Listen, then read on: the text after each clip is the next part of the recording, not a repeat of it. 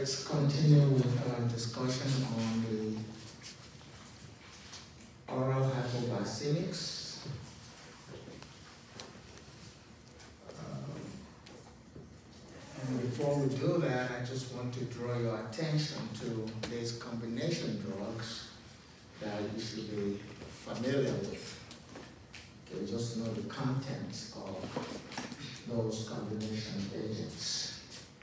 Okay, if you look at uh, the organs that contribute to plasma glucose in one way or another, you see that there's the pancreas, liver, GI, and kidneys, and of course you can have insulin resistance or insulin sensitivity in certain tissues. And the classes of your oral hypoglycemics are up there. You have the biguanides, the alpha glucosidase inhibitors, the meglitinides, sulfonylureas, and your thiazolidins. And of course, we've done your DPP-4 inhibitors and your SGLT2 And in terms of the actions of those classes, I put a check where they actually work the most. And um, so if we'll start with the biguanides, um, you mainly have your metformin as the representative agent of the biguanides. There was one before metformin, it was called phenformin. And phenformin was removed from the market mainly because it caused a lot of lactic acidosis.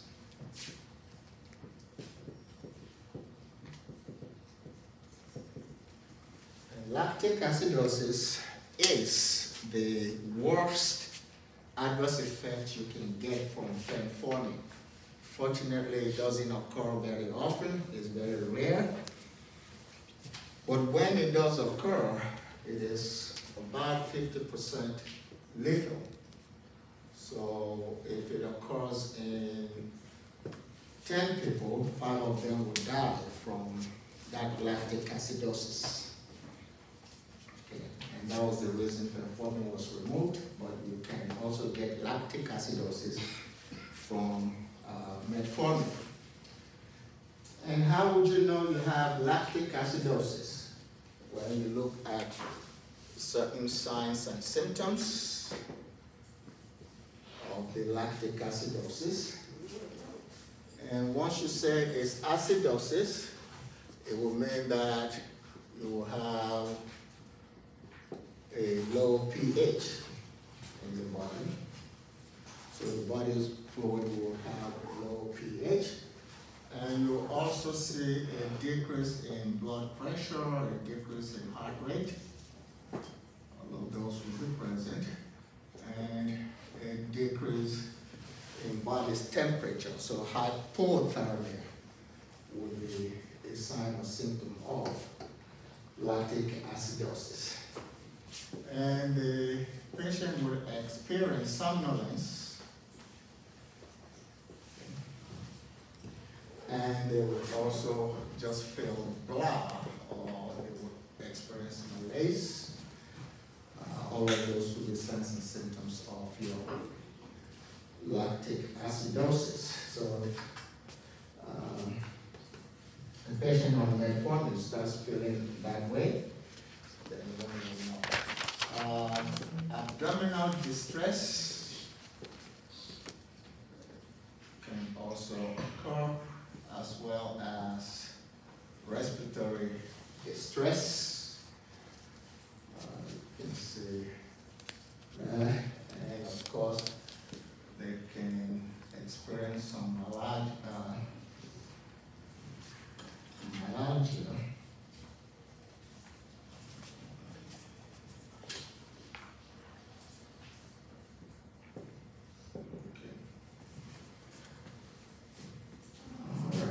So um, those start happening, you have to basically take the patient off of metformin. So looking at the uh, actions or mechanism of action of your metformin, um, that is pharmacological actions. As as diabetes is concerned, you will see that metformin can act on the liver and decrease the synthesis of glucose in the liver. And on the GI, it will decrease glucose absorption at the GI level. And of course, it can also decrease insulin resistance, which basically means that you're increasing essentially insulin sensitivity. So it can do all of those, and it also has a good uh, lipid profile, and that is beneficial to the diabetic patient also. Uh, metformin will give you a decrease in total cholesterol. It would also give you a decrease in your triglycerides. And you will see a decrease also in your LDL cholesterol. And as an icing on the cake,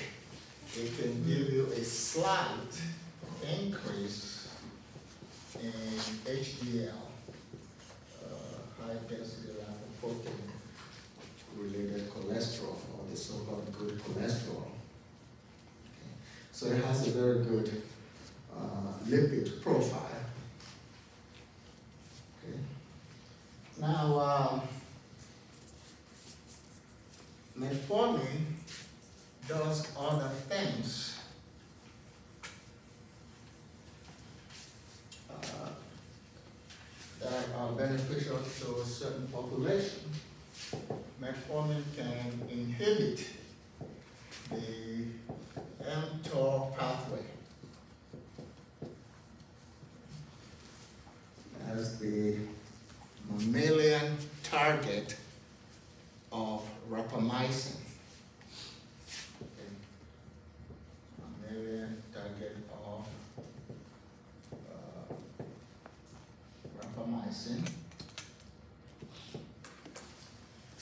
If you inhibit mTOR pathway, you would actually be uh, activating or stimulating the process that is called autophagy. in some lymphoma cells. Okay, autophagy, of course, you break it down. Phagy refers to eat. So it's like the cell is self-consuming or self-destructing. You know?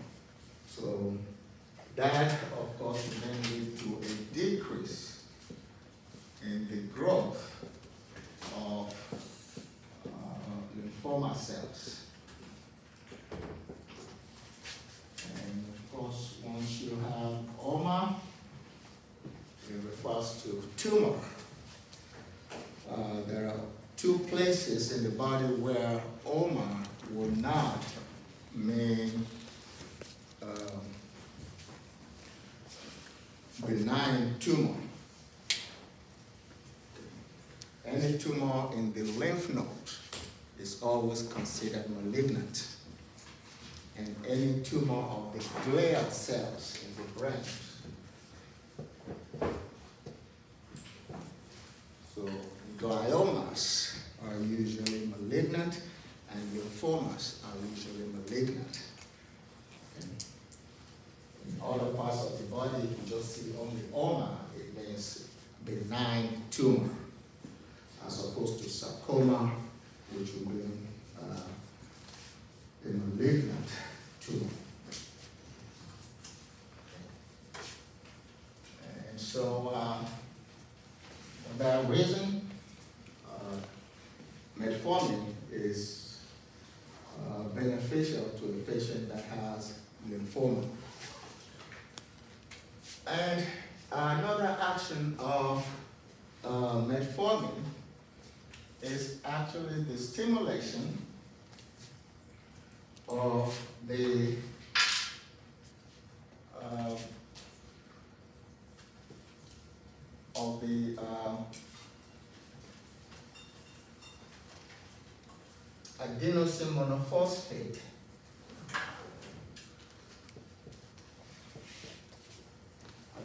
adenosine monophosphate activated protein kinase.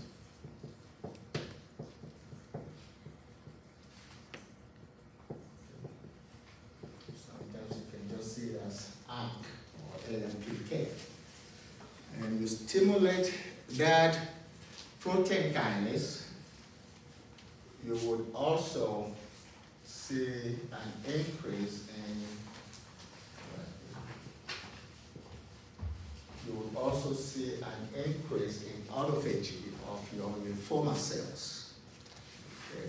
So inhibition of mTOR pathway, stimulation of the adenosine monophosphate activated protein kinase can lead to autophagy in lymphoma cells.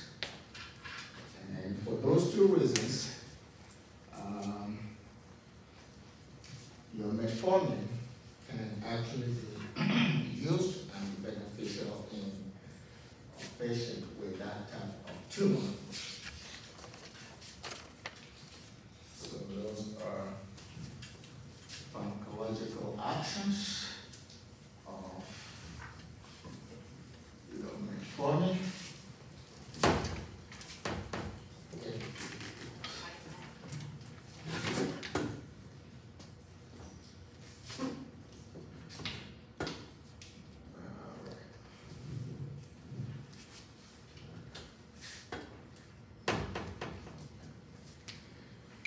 And uh, now we can look at the admin for that drug. This is admin for metformin. As usual for the uh, absorption, we look at the route of administration. And your metformin is administered orally. Uh, the rate and extent of absorption of metformin can be decreased by food.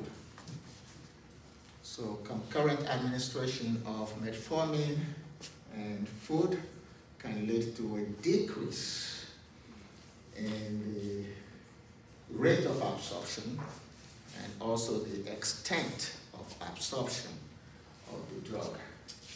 And what does that define? Rate and extent of absorption.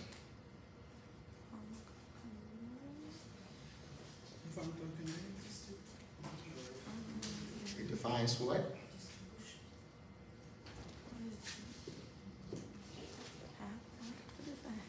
F factor. What is the F factor?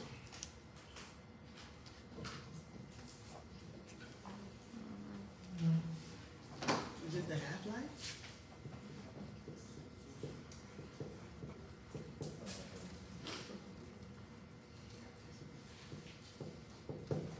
Bioavailability.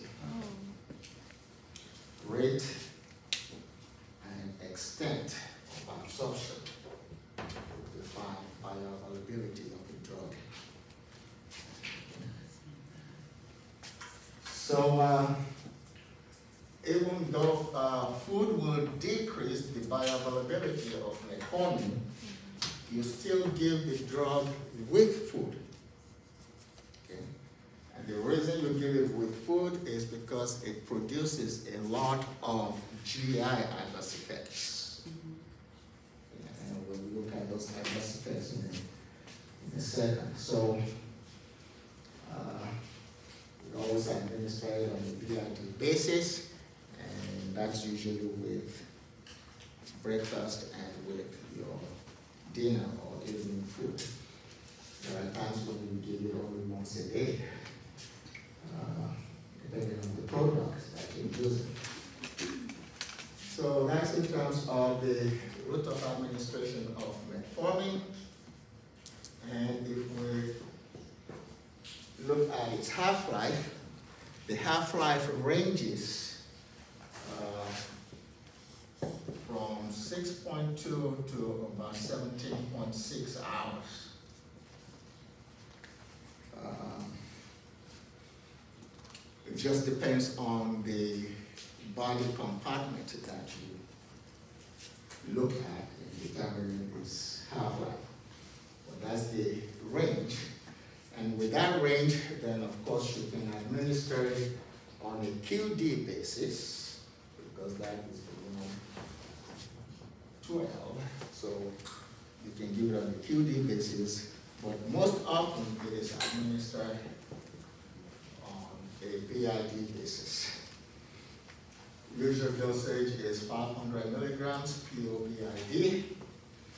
But if you're using the extended release preparation, you can give it on once a day basis, or if you're using a higher strength, like 850 or 1000, you can give it on a QD basis. Okay. Uh, the plasma binding protein for metformin is almost non-existent, it is negligible. Okay. And also there's basically no metabolism uh, to talk about, it's almost non-existent, and so the drug is excreted unchanged in the renal system. So, which basically means if you see creatinine clearance of 30 mils per minute, then you know you have to adjust the frequency of administration of metformin. So it goes out in the renal, uh, renal system. Okay. Now, um, for its indications, we know that would use metformin for type 2 management, and it is also used in type 2 prophylaxis. You only have two other groups of your oral hypoglycemics that you can use for the prophylaxis of type 2. Uh, the other will be your AGIs, alpha glucosidase inhibitors, and your thiazolidine diones. So those other two classes can be used for the prophylaxis of type 2 diabetes. So that's one, two. Another indication for uh, metformin is one that we mentioned, lymphoma. And it can also be used to manage polycystic ovary syndrome. Uh, a patient with PCOS uh, PCOS is a condition that is hereditary, and the cause is really truly unknown, so it is considered to be idiopathic. So it's an idiopathic hereditary condition in which the female suffers from a prolonged but infrequent menstrual period prolonged but infrequent menstrual periods. And usually they are a little on the heavy side, so they do gain weight when they have that pre-course. Okay, and also uh, is characterized by acne. Uh, in those patients. And also by your insulin resistance. And this is why your metformin will be beneficial uh, to that patient because it would nullify or reverse that insulin resistance. And uh, if we look at the A1C uh, reduction, metformin can give you a 1 to 1.8 percent. A1C reduction. So it is excellent uh, in terms of its effectiveness uh, in A1C reduction. So you can understand then why metformin is usually the staple, it's usually the, the, one of the first drugs you give to a patient that has diabetes, because you have that very good A1C reduction, and you can even use it for prophylaxis, and then its ease of administration. All of those work in favor of your metformin. Okay. Question?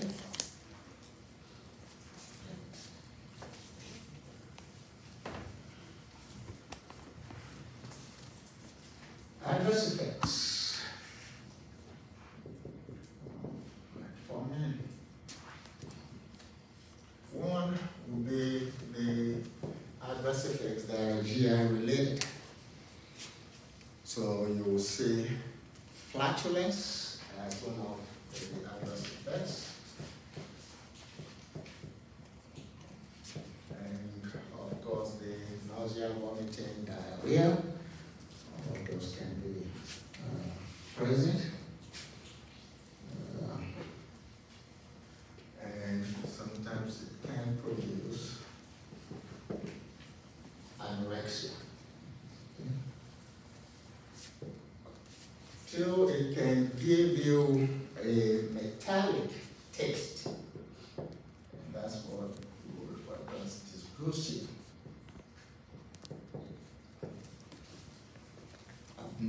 escuché.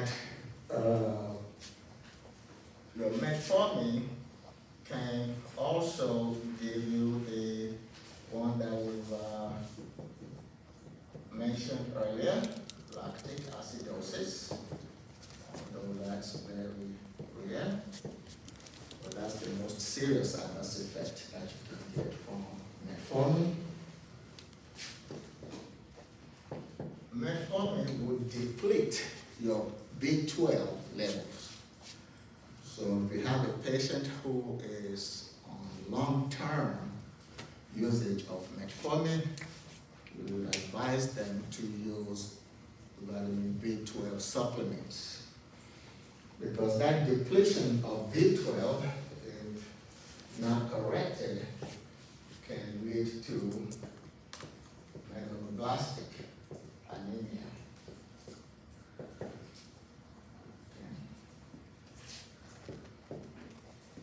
And um,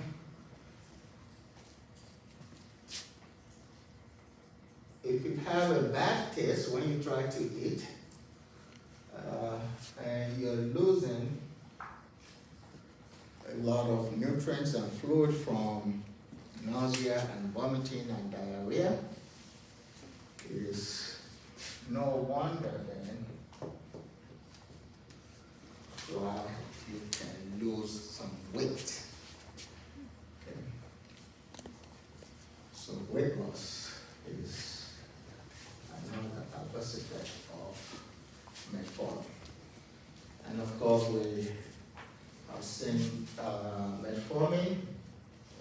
combination drugs, whenever you see MET, when it's referring, when it's, uh, an anti-diabetic drug, it usually refers to your metformin.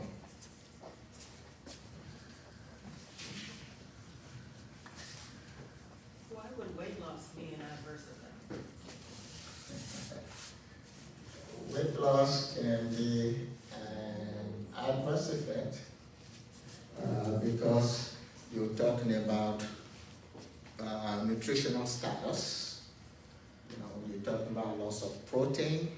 So, yeah, it can be can happen. And if you lose weight too drastically, it can affect your cardiovascular system. Um, if the patient is obese, as it is usually in, um, in um, diabetic patients, then that's something positive. Yeah. Okay, so that's for your uh, biguanides. Uh, and now we can go to the AGIs, that is alpha glucosidase inhibitors. And for the AGIs, you have acarbose, that's one of them, and you have miglitol. That's another. And we can take to represent that class. So we start off as usual with the mechanism of action. There are actually two enzymes that are affected by these drugs. One will be your uh, pancreatic amylase.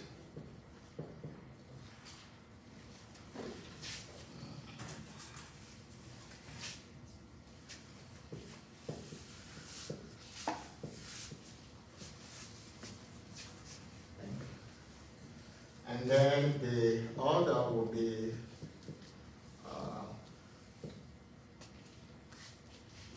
uh, a hydrolase that is found in the GI uh, tract.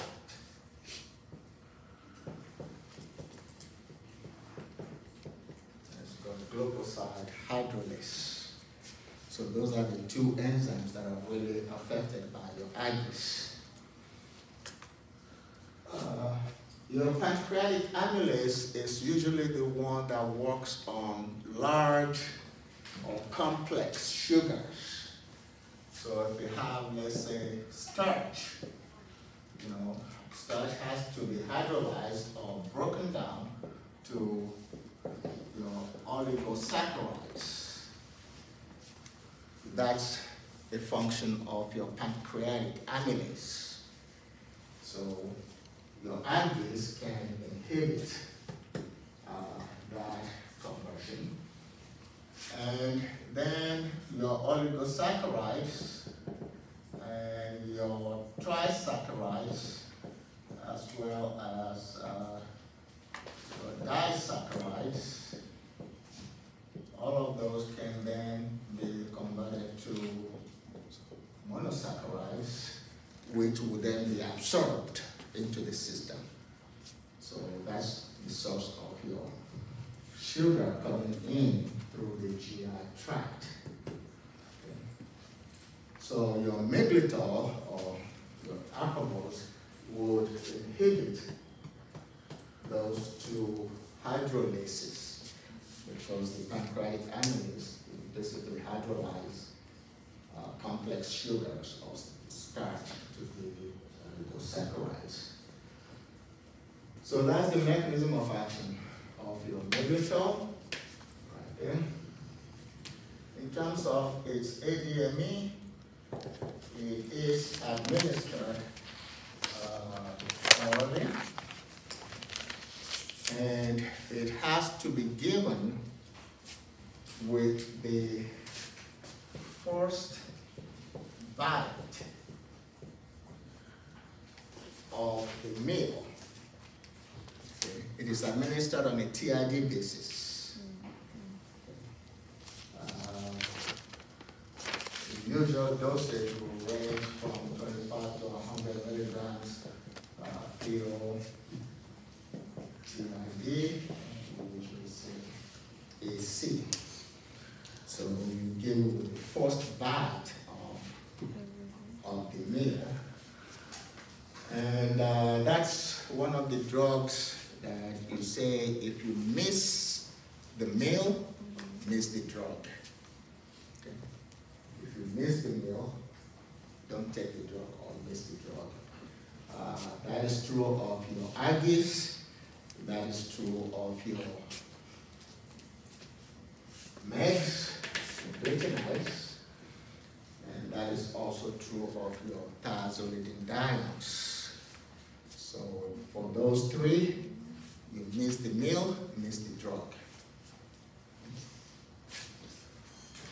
So that's how it is administered. Uh, the half-life for Miglitol is about two hours. And the plasma protein binding is very low. It's less than four percent plasma protein bound, so it's essentially just free. And there is no metabolism to speak of when you're looking at Miglitol. And then excretion is primarily through the renal system, about ninety-five percent renal in terms of its excretion. Uh, The indication will be type two. Yeah, it is lightest, and we've seen the usual dosage. It gives you an A1C reduction of by zero point three to one percent. So not too hot, but still gives you A1C reduction. Adverse effects, the most common adverse effects of your Aggies is flatulence. That's the one that is most often mentioned. But it can uh, produce all the other non-specific GI side effects, nausea, vomiting, diarrhea. You can get some abdominal pain while taking this drug. And for the Aggies, usually at the initial or the point of initiation of therapy, uh, they can actually elevate your liver enzymes. So your AST, ALT can go up, usually at the beginning of therapy with an Aggie. And so at that point, actually one may need to do some liver function tests. you know, uh, When you study Aggie therapy. And so, and those are the adverse effects of your Aggies. And, uh, good thing is they, they work well with all the oral hypoglycemics. So even though the A1C reduction is low, uh, they can work in concert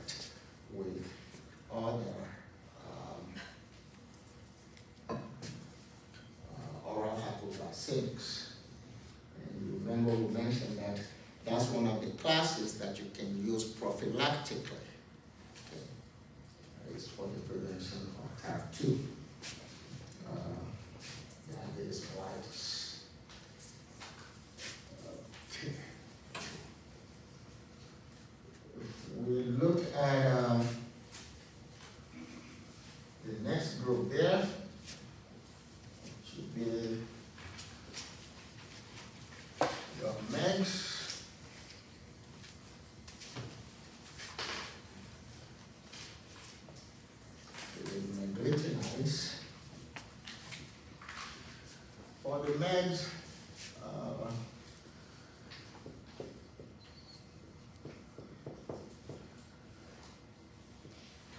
we will take pranking.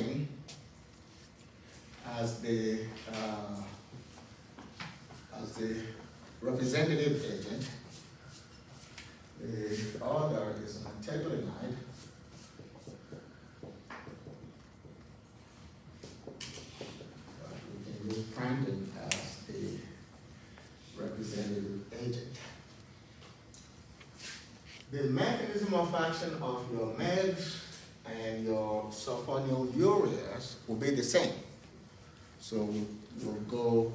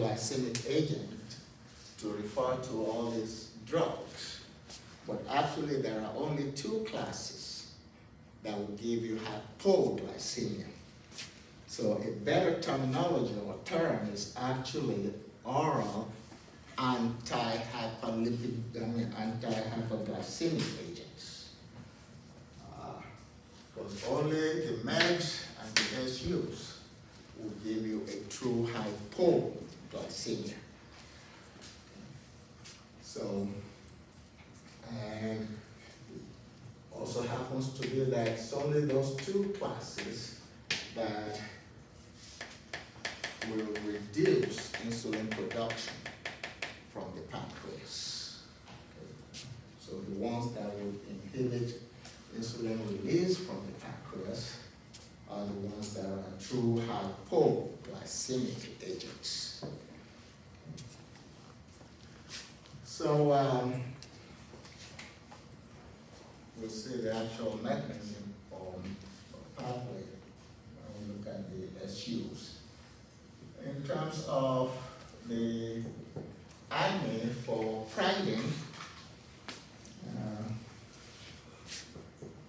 drug is administered pure. It is also administered on a TID basis, AC. And just like the AGIS,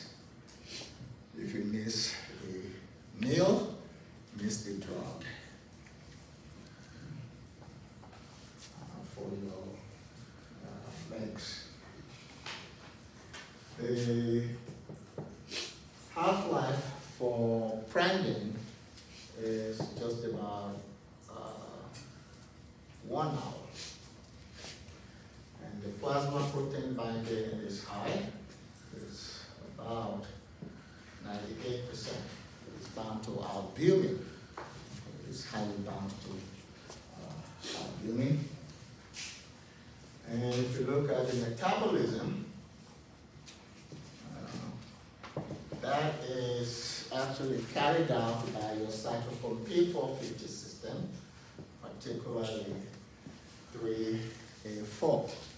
It undergoes N dealkylation. Okay. So 3A4. And then you have glucuronide conjugation. Okay. So N dealkylation by 3A4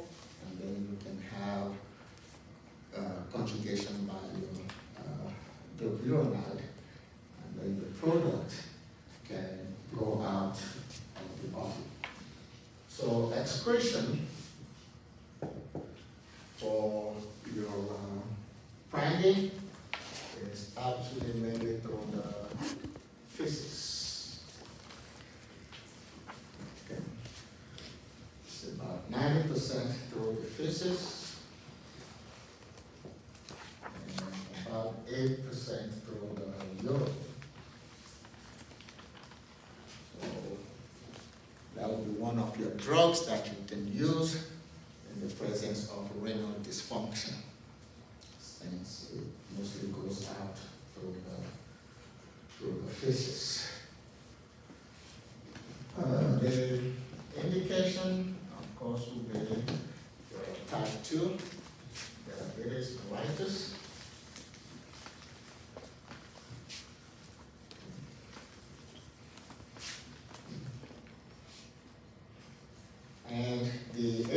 CA reduction that it can give you uh, is in the range of 0.6 to 1%, so slightly higher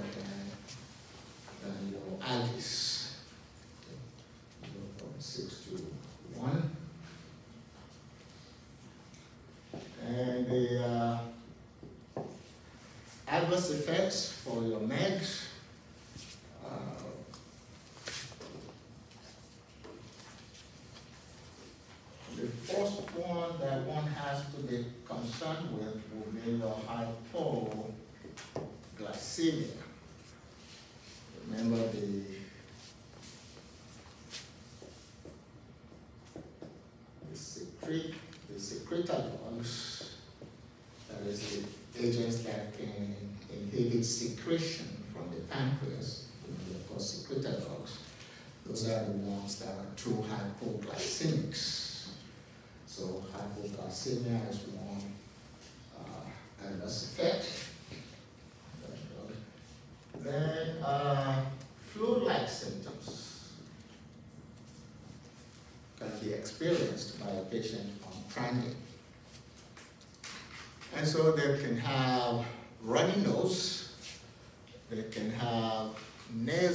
stuffiness. So both can occur, stuffiness or congestion, if you will.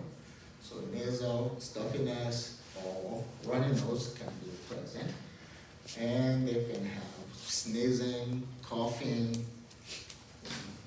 all those flu-like symptoms, slight increase in temperature can be present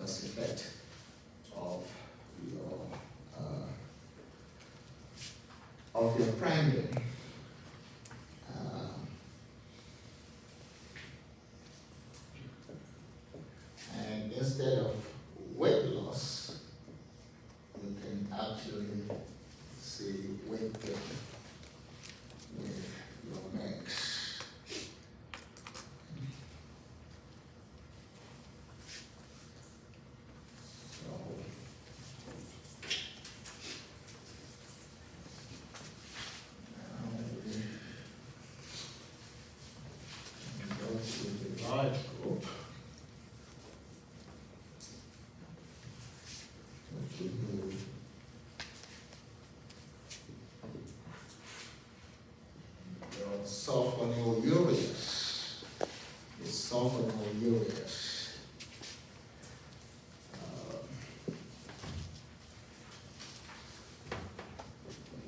the sulfonylureas would include your Tolinase and Orinase.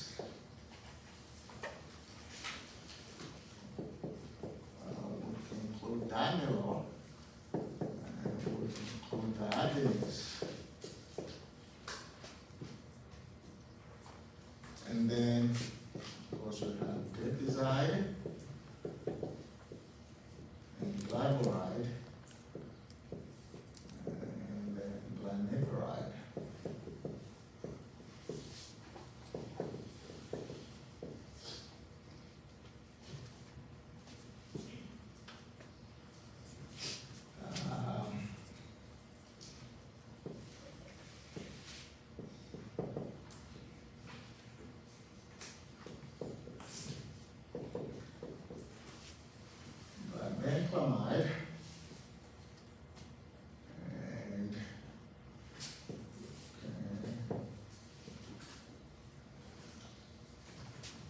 okay. We don't have that.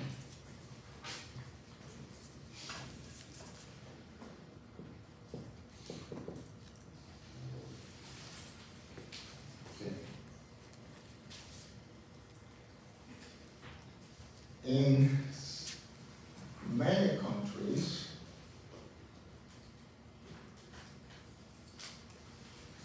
the is actually another name for glyburide. Uh, And the is a derivative of glipizide. So the first four up here are the ones that you call your first generation SUs, and these all the ones are your second generation sulfonylureas.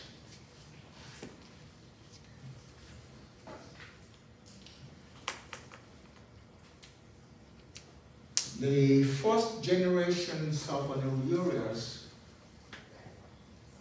are almost obsolete in this country in terms of treating diabetes. They're still commonly used in some other parts of the world, but in this country, they're essentially obsolete. Uh, people just use the second generation SUs, particularly those first three, glyburide, and glimepiride. Um,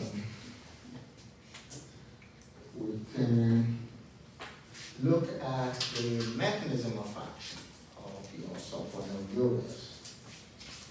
So if you give an SU, it will bind to the membrane of your um, beta cells, islets of Langerhans. And when it binds there, it would actually block an ATP sensitive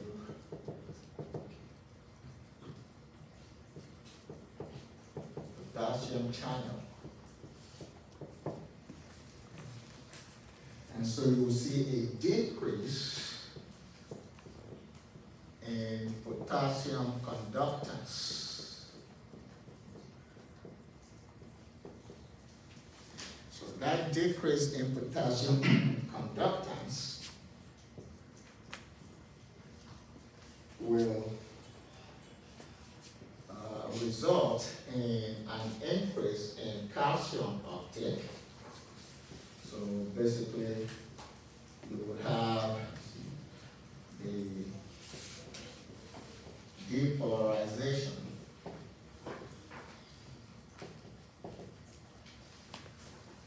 of that membrane.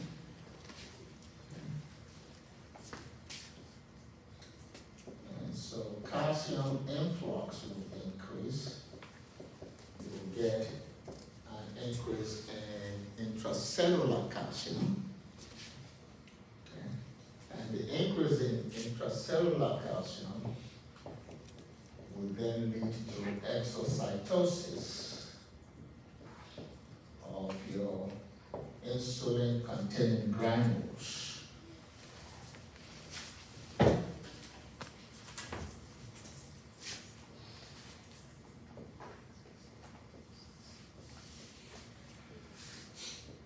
then, of course, you see the release of insulin.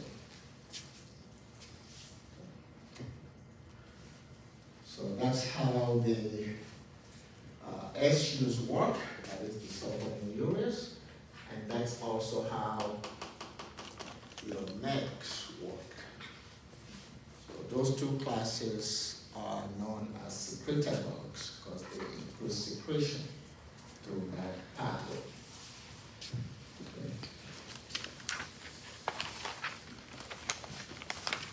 Glimepiride stands out uh, because apart from causing an increase in insulin release from the pancreas, it also has the ability to reduce insulin resistance. So glimepiride will do what all the others are doing, but in addition to that, it can give you an increase in insulin sensitivity, you know, to a reduction in, in, uh, in insulin resistance. And glimepiride stands out for other reasons that we'll see in a second. Okay, so that's the mechanism of action for your sulfonylureas.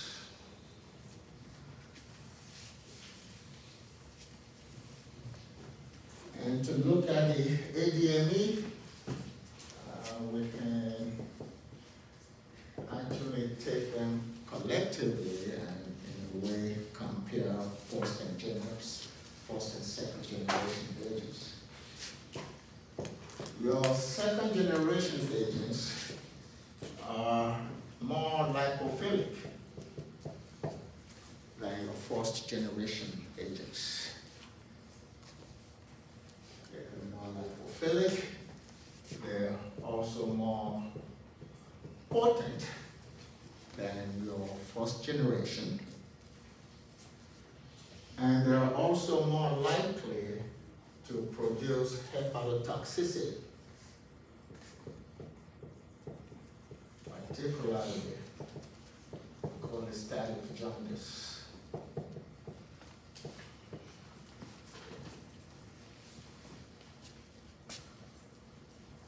So, of course, then,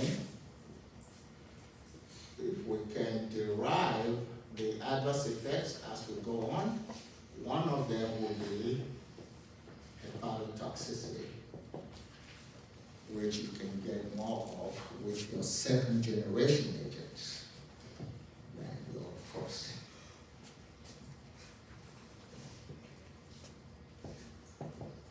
All of them are highly plasma protein bound, usually greater than ninety percent. The first generation agents would use ionic bonding. So the first generation would use basically ionic bonds. Your second generation would use non-ionic uh, binding mechanism. And the difference there clinically is that your first generation then are more likely to have drug-to-drug interactions due to that ionic bonding, uh, particularly with your uh, oral anticoagulants like Coumadin. Okay, so they're more able to displace Coumadin from the plasma protein binding site. So that's another distinction. All of your SUs uh, get excreted mostly through the urine. The first generation, all of them go out through the urine 100%. Okay. So, renal dysfunction, if you're using the first generation, will necessitate a change in the frequency of administration or the dosing of your first generation. So first generations, 100%. For second generations, particularly these three that we said are used uh, mainly in the US, it will vary. Um, for instance, your glyburide is only fifty percent excreted through the renal system.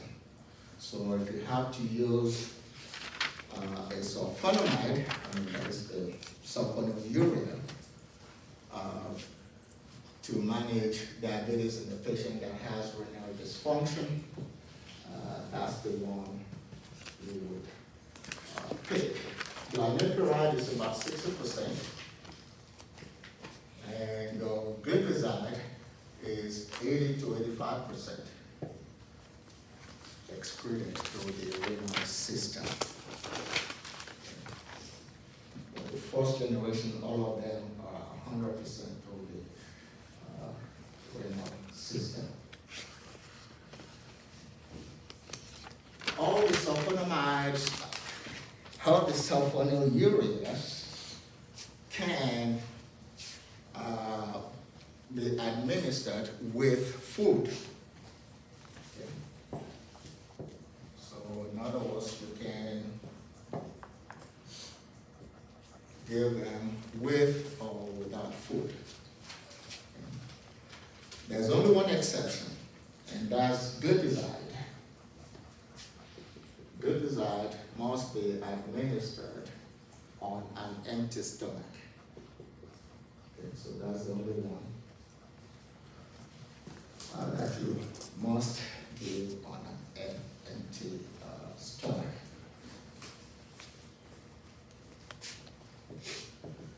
All your SUs have an active metabolite. There are only two exceptions to that rule. One is glipizide,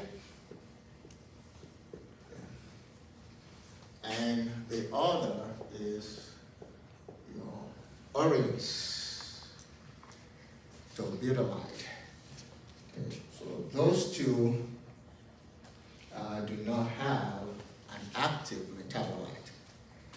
And the system that metabolizes your sulfonylureas, of course, is your cytochrome P450 system, particularly your cytochrome P450 3A4. Now, if you increase the pH of the urine, you will see an increase in the excretion of sulfonamide.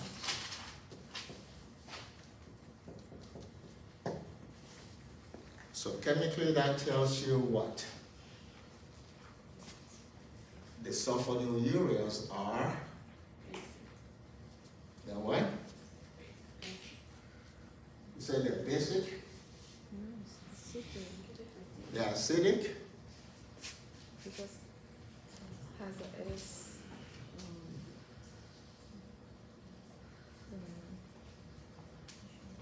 has a. Okay, that's basic principles of pharmacology, right?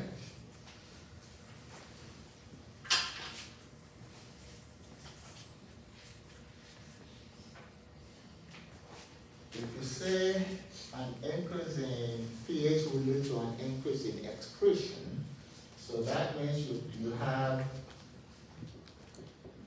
a basic medium, right? Does your drug get more ionized or less ionized if you have a basic drug in a basic medium? It will be what? Less ionized. If it's less ionized, then what happens to it at the biological membrane? It's what? It will not cross. Does anybody have a different answer?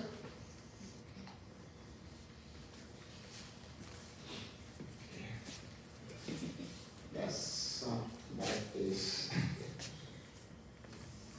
is very basic. Um, Okay. If you have a basic drug in a basic medium, then your drug will mostly unionized. How do drugs cross the biological membrane?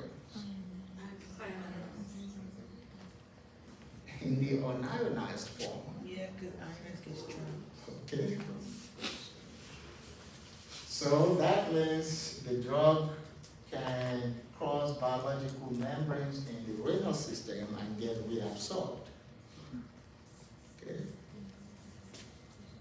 So if you have a basic medium and you have an acidic drug in that basic medium, then most of that drug will be ionized. In the ionized form, a drug does not cross biological membrane. Is this the pH trapping? Okay, so you will get increased excretion because there will be no reabsorption. You cannot cross biological membrane back. So by saying this, this tells you right away that your drug is acidic.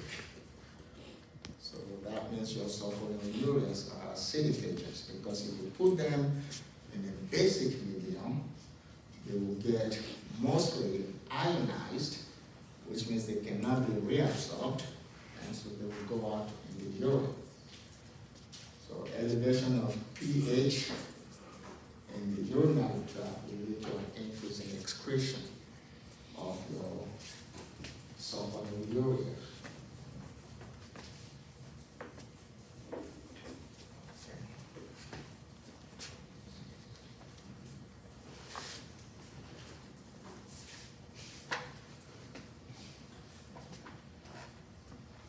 Alright. The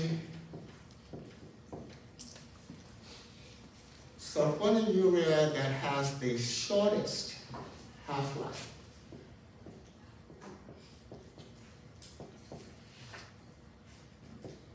is your glipizide. Has the shortest half-life. And that's just about two to four hours. The sulfonylurea that has the shortest duration of action is your tolbutamide. That is this drug, Orinase.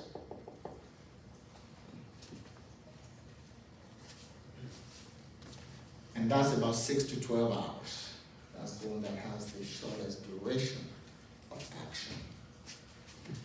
The sulfonamide, I mean the sulfonylurea that has the longest half-life is also the one that has the longest duration of action. And that is your Diabinese.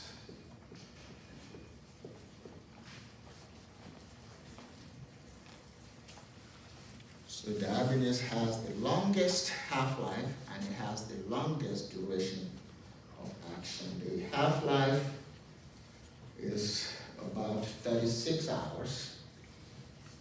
The duration of action is from about twenty-four up to sixty hours.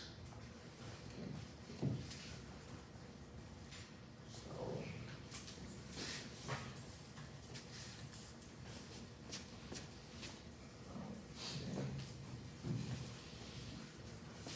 What was that there? Admin? Uh,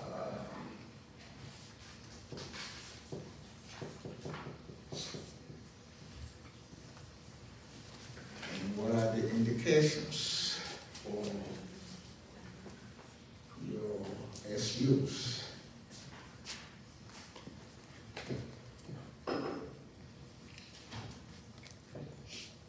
Their indications can be derived, if you will, from some other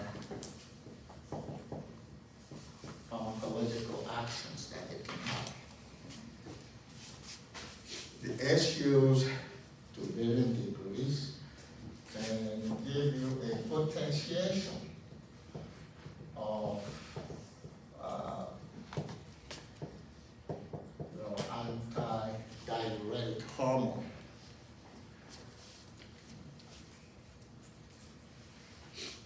that potentiation of your ADH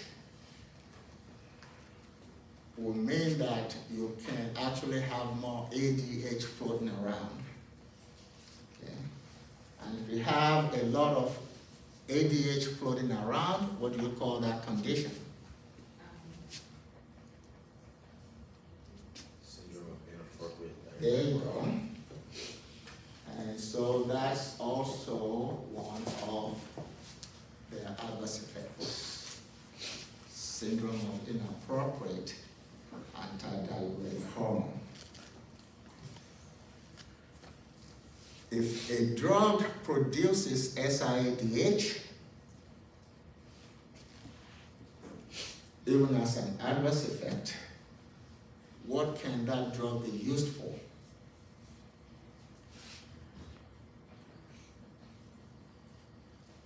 It's basically automatic. If a drug produces SIADH, it definitely can help in the management of which one?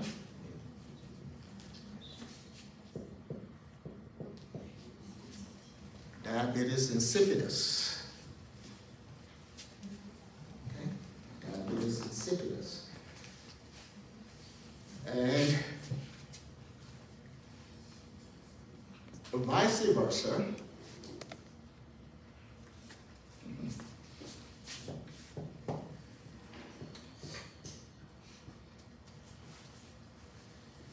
The phrase is actually not vice versa.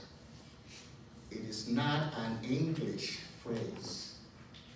It's, it's not like Miami Vice. Okay? It's vice versa. And um, if produces diabetes insipidus as an adverse effect, one of its indications will be SIADH. Okay, it's automatic. If a drug produces SIADH, even as an adverse effect, one of its indications would definitely be diabetes insipidus. Drug produces DI, one of its indications would be SIADH.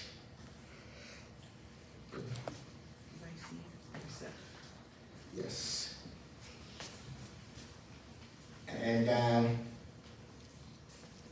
that's really the only remaining indication for this drug diabetes today. See it used 200 to 50 to 250 milligrams to 500 milligrams given either on a QD or on a BID basis for the management of diabetes insipidus. So that's one of uh, the other pharmacological actions. Uh,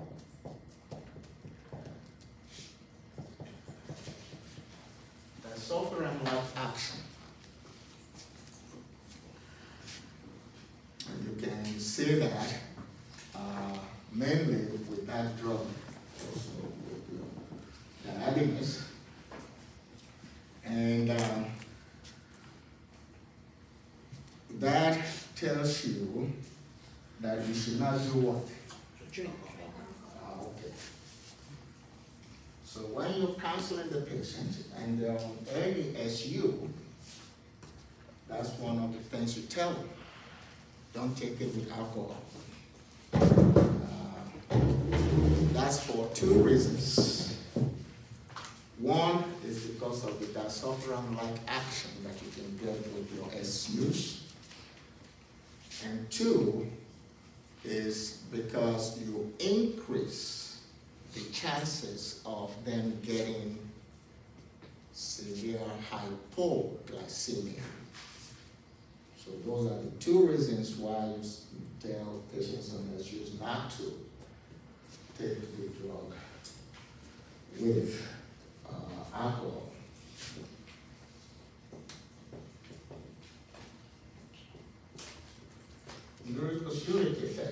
Which basically means increased excretion of uric acid in the renal system. You can see that with that drug, Dymelor. But unfortunately, it does not produce enough uricosuric effect for it to be used clinically in the management of gout. It can increase uric acid excretion.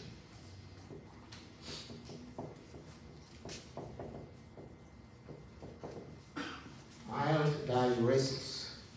You can see that with glyburide, you can see it with glipizide. You can also see it with that Dymelor to a, to a small extent. Okay. Um, Why do you think that is? Why do you get mild diuresis with your SU?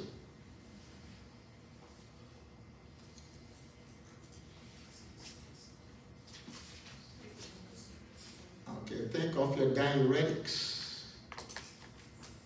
How do you classify the diuretics?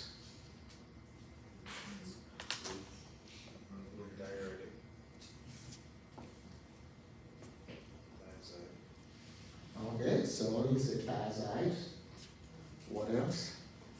Loop the diuretics, Potassium sparing. potassium is potassium sparing. What else?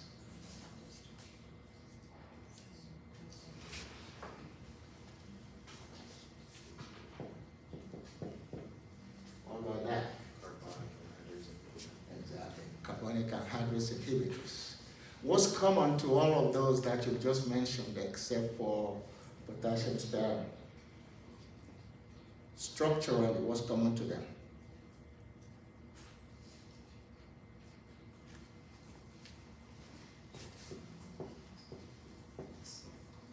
Exactly, they are sulfonamides.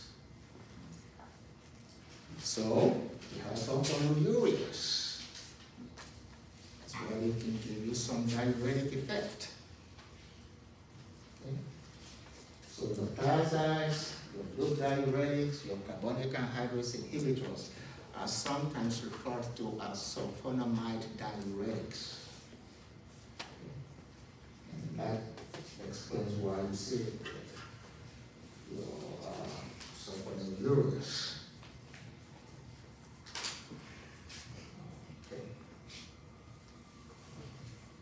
So as we're building the adverse effects, uh, we've seen one that has to do with uh, your alcohol. So that's sulfuron like action. Okay. And uh, so for indications, like we've mentioned, diabetes insipidus, that would be one. And two would be the main thing we're discussing, the type two, uh, diabetes mellitus. And the sulfonylureas will give you a one point five to two oh percent drop in your A1C. So basically, they are the best. Because that's, that's even a higher range than your insulin. Insulin is one to two, and these drugs will give you a one point five to two. Um, There's a system called the BIDS system.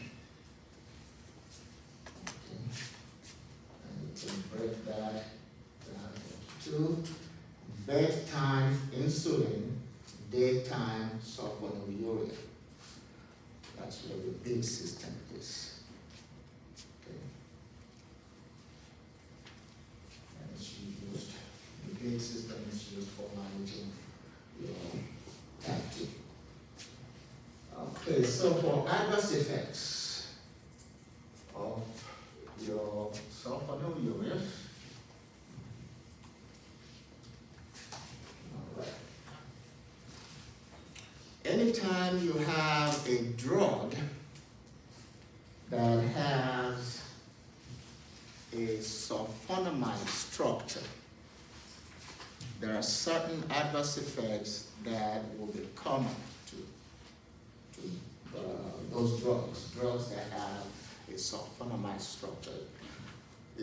also drugs that are sulfones. So sulfones, sulfonamides, they will have some particular adverse effects which we refer to as triple H and us. It doesn't matter whether you're talking about uh, protease inhibitors that you use to treat AIDS. There are some of them that are sulfonamide in nature. It doesn't matter if you're talking about diuretics that are sulfonamide in nature, or your sulfones that you use to treat uh, TB, tuberculosis, you know, like Dapsone, or,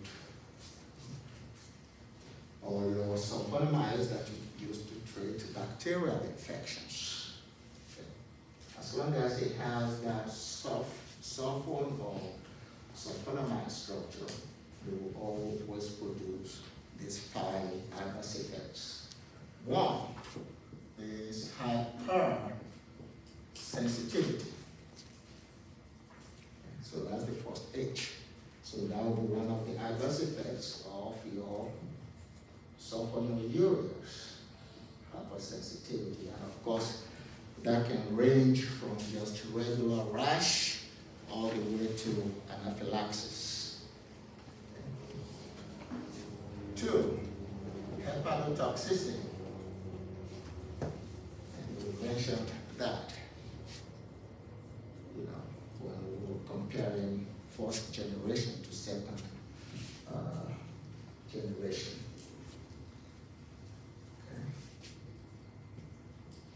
Three, hematologic adverse effects.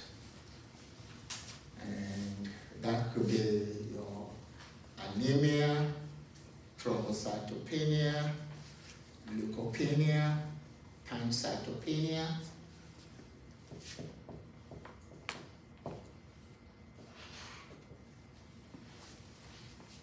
So thrombocytopenia, anemia, leukopenia, pancytopenia, all of those you can get anytime you're using a sulfone or sulfonamide containing uh, drug. Urinary tract system. Uh, you're likely to see crystallization or crystals forming in the urine. And so you will counsel the patient to do what? Drink plenty of water so that the crystals will not form the. And then the S is skin. So the drug contains a sulfonamide and structure a sulfone. You will always get those skin reactions. The manifestations here, as far as the issues are concerned, could include things like your regular rash, as well as eczema. You see that. Uh, and you can see hives, and then itching, pruritus. All those can be manifestations dermatitis. You know, maculopapular rash. Uh,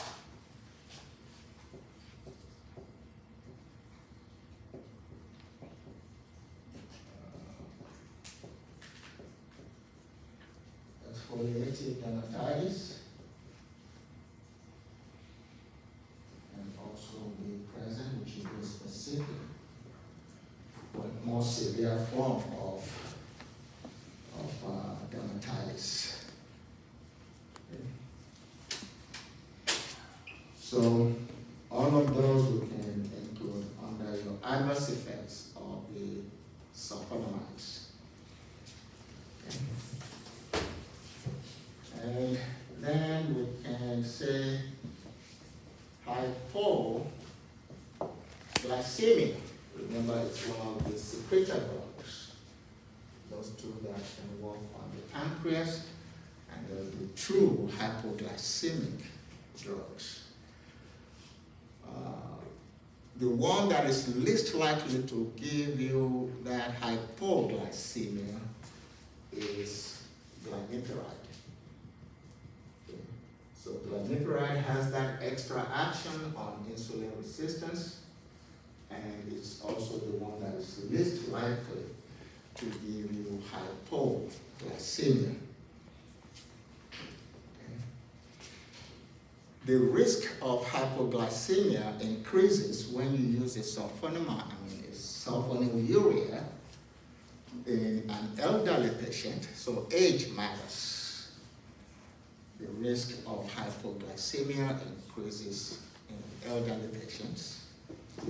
It increases when you ingest alcohol concurrently with your sulfonylurea. It increases when you use another oral hypoglycemic agent with your SU. Okay? And it increases when you have a prolonged exercise and you are yourself on your sulfonylurea. So all of those can increase the risk of hypoglycemia coming from the sulfonylurea. And since they are administered orally, you have many GI adverse effects, uh, including flatulence, including your nausea, vomiting, diarrhea, abdominal pain, uh, dyspepsia.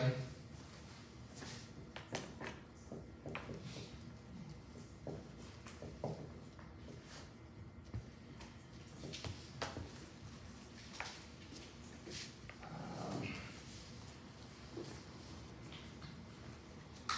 And you can also see an increase in hunger.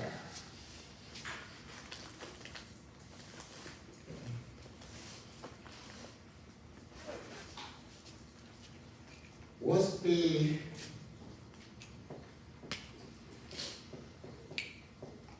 what's the clinical word for heartburn?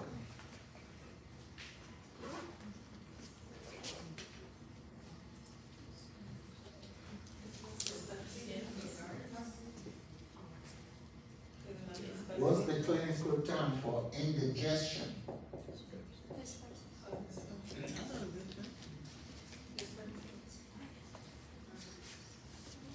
Is what? Isn't it pyro something? Okay, getting there. Pyrosis, okay, so pyrosis is what? And dyspepsia is what? Okay, Excessive thirst. can one be a symptom of the other?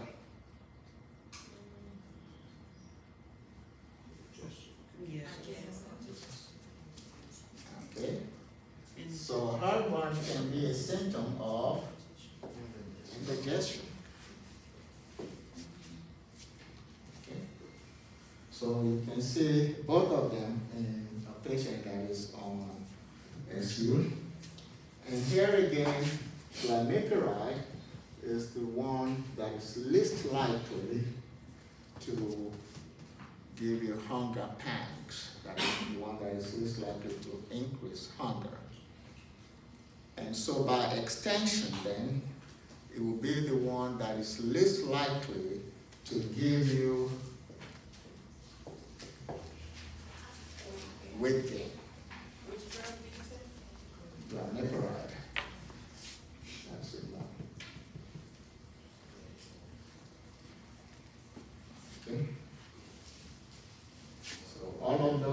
see with your sulfonylureas.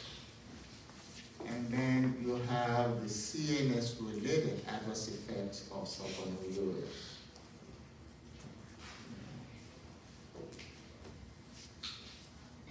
So the sulfonylureas can actually produce or you the whole gamut of CNS adverse effects.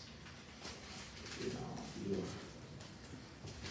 you can have somnolence, you can have insomnia, you can have headaches. Okay. So they have a host of CNS adverse effects that they can produce. Um, and then Leave them alone and just go through the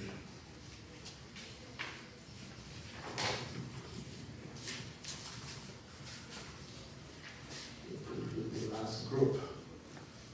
Thiazolidinediones, I have a quick question. yes, So sometimes I use, uh, I see doctors prescribe, uh, like glyburide and, and glipizide together for patients. So is that something that's normal or like, I, I, it's very rare. yeah, there- there's no uh, rationale for that. Uh, Unless they just want to say, okay, use this At this time. and monitor them, and then you can switch to that. You know, because, uh, It's in class, yeah, not only same class, they do basically the same things in terms of pharmacological effects, you know. Um, The only other time you can see something like that is when you're looking at the difference between Glynase and orinase. Uh, or if you're looking at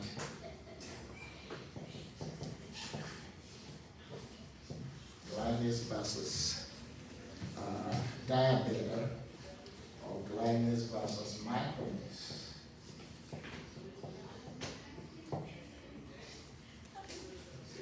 All of those glyburide.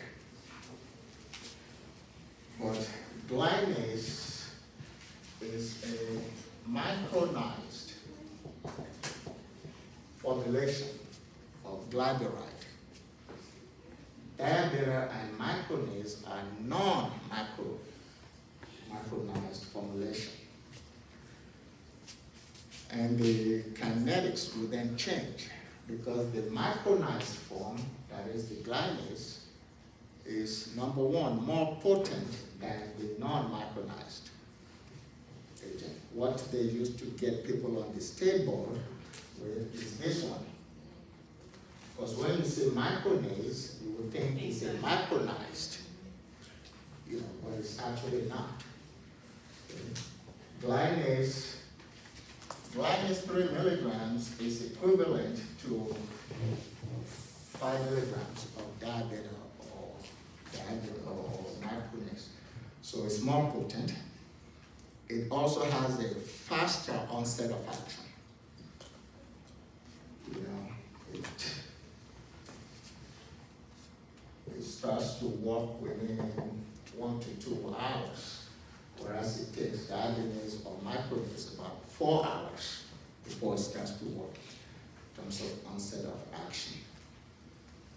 But Glynase has a shorter duration of action. You know, uh, Glynase duration of action is about four hours. DiaBeta or micronase duration of action is about ten hours. You know, or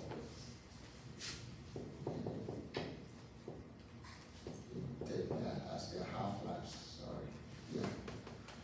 With Four hours to ten hours in terms of the half-life.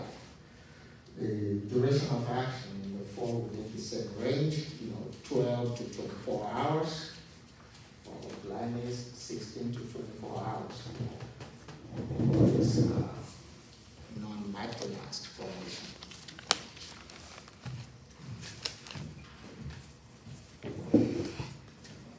So, lastly, let's quickly finish up with, uh, your thiazolidinediones.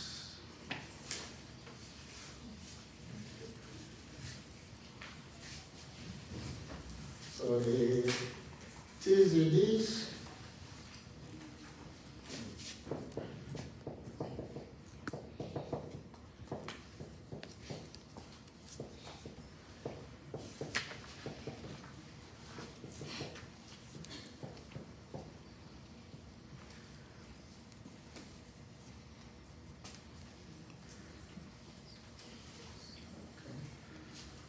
So we can take Actos as a representative agent there.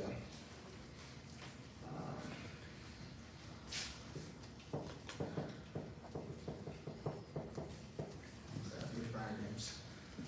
The very first one made was uh. And the reason Rezulin was removed from the market was because it produced a lot of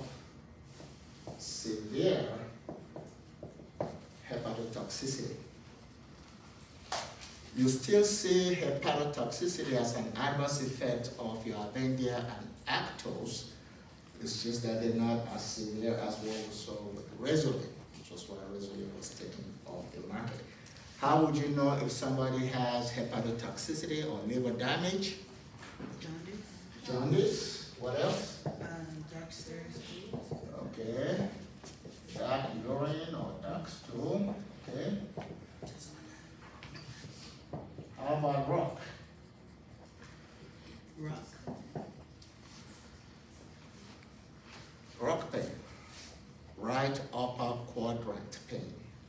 mm, That's actually the most telling when a patient has, you know, uh, severe liver damage. The right upper quadrant pain. So they,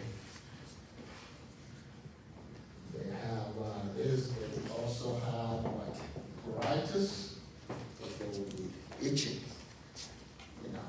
uh, and of course, you know, non-specific ones, like they can be nauseated, and have uh, vomiting.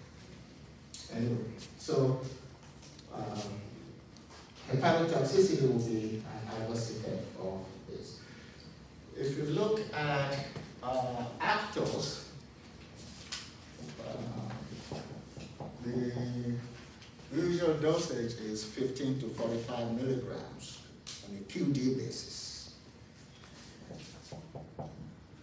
Uh, Avandia is like four to sixteen milligrams, which can also be administered on a QD basis. Uh,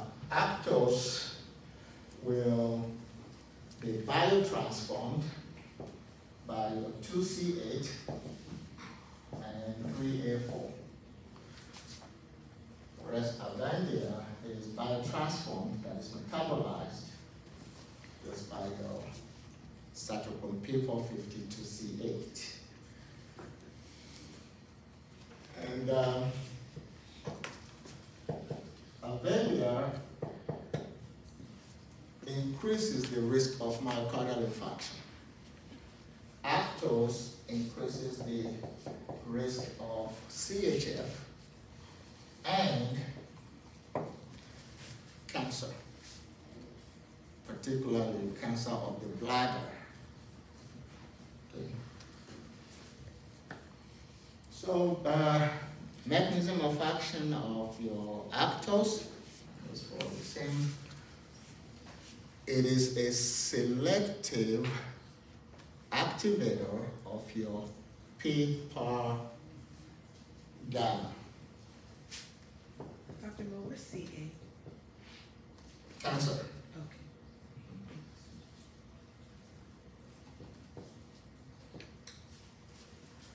PPAR gamma, that is peroxisome proliferator activated receptor.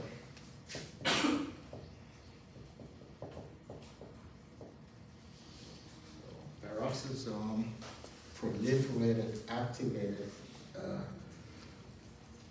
proliferator activated receptor, GAM. So selective uh, stimulant or activator of that receptor. And if you do that, if you activate PPAR, you would actually be affecting insulin resistance. So in other words, your thiazolidinediones will decrease insulin resistance or invariably they will increase insulin sensitivity. Okay. Uh, there are some other actions you will see or effects that you will see with the TZDs. They can also decrease glucose production by the liver. So you can get a reduction in glucose production. And they have a, a profile or an effect on lipids, uh, in which case you would see a decrease in uh, your triglycerides and a decrease in cholesterol. And you can see an increase in HDL. Unfortunately, they tend to elevate LDL cholesterol. So you can see a decrease in total cholesterol, but you can see an elevation LDL cholesterol, which is the bad cholesterol. So that's their lipid profile. Uh, so Actos administered orally. Uh, we've seen the dosage can give you a 0.8 to about 1.5 percent A1C reduction. You know, some will just round it up to 1 to 1.5, but it's actually 0.8 to 1.5 percent decrease in A1C. Okay. Um, half-life, half-life will be uh, biphasic. You have an initial half-life of three to seven hours, and then you have a terminal half-life of 16 to 24 hours. So the half-life is biphasic. Plasma protein binding is very high, about 97%. Okay, 97% in terms of plasma protein binding, and excretion is renal. So excretion is primarily, primarily through the kidneys. Indications, just type 2. And that's one of the classes that you can use prophylactically. So it can be used to treat type 2, can also be used to prevent uh, the occurrence of type 2. And uh, the adverse effects, uh, CHF, that's cardiovascular basically. You can see edema, increase in water retention, and that can aggravate CHF also. Increased risk of cancer. Then we mentioned hepatotoxicity that you can see in uh, these agents, and of course, your non-specific GI adverse effects. All right. Questions?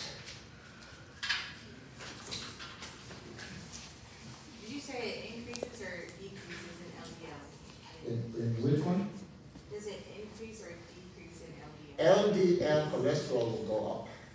And Increases the total cholesterol. Total cholesterol can come down, but LDL, the cholesterol will go up, which is bad, of course. and the HDL increases too. HDL increases, which is good. That's You get about a, nineteen percent increase, uh, in your HDL. Dr. Mo, what was the terminal pass line? Yeah, I was about to The sixteen to fifty-four. And you refer to it as, uh, biphasic, right, so it has two Yeah, phases? biphasic, an initial half-life and then a terminal half-life.